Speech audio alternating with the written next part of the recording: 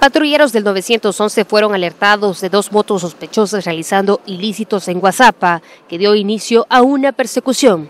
Por ejemplo, en Apopa la primer moto fue interceptada, pero la otra, donde iban a bordo dos sujetos, no acataron los comandos verbales y huyeron desde la carretera troncal del norte, pasando por la colonia 5 de noviembre y el centro de San Salvador.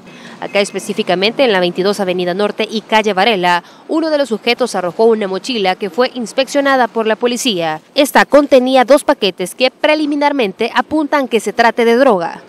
Varias unidades bloquearon el paso a la altura de la Alameda Juan Pablo II y calle San Antonio Abad, y tras un intento más por huir, los sospechosos chocaron contra un poste, causando la muerte instantánea del conductor, mientras su acompañante se encuentra en estado de gravedad en el Hospital Rosales.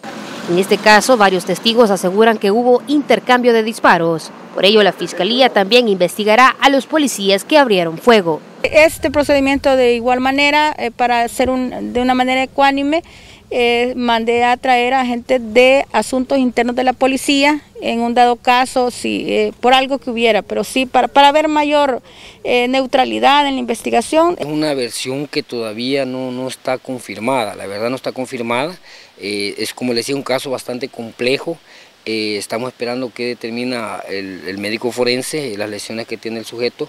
Al cierre de la nota no se localizó ningún arma vinculada a los delincuentes. Las investigaciones continuarán. Jessica Rosales, TCS Noticias.